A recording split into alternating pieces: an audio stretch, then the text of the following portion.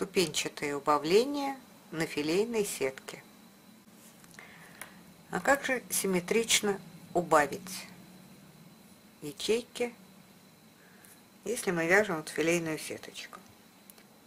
Ну как это сделать, чтобы вот я хочу, допустим, чтобы следующий ряд у меня был на одну ячейку меньше.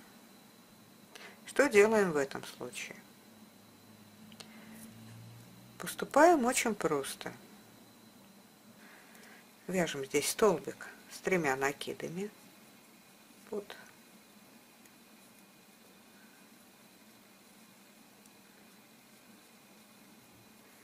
И оказываемся вот в нужной нам точке.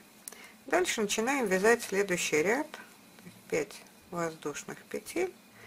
Столбик с одним накидом над следующим столбиком. Здесь у нас ячеечка убавилась. В конце ряда это, в общем-то, все просто. Мы не довяжем одну ячейку.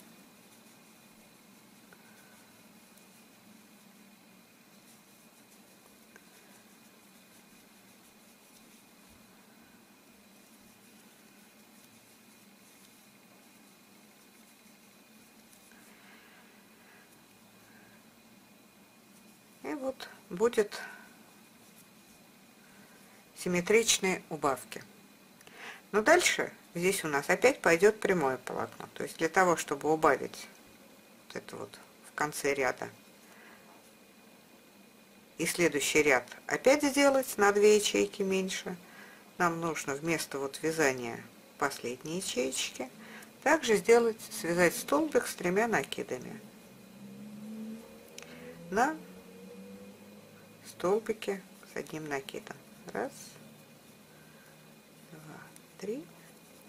И вот мы ячейку убавили. Дальше начинаем вязать следующий ряд, также с 5 воздушных петель, поворачиваемся. И вот у нас эта ступенечка получилась.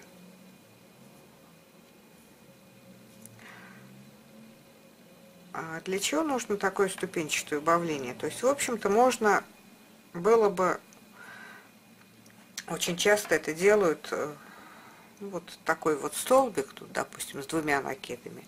Но тогда это будет вот ровный, ровный край. А очень часто хочется сделать вот такой вот ступенчатый край.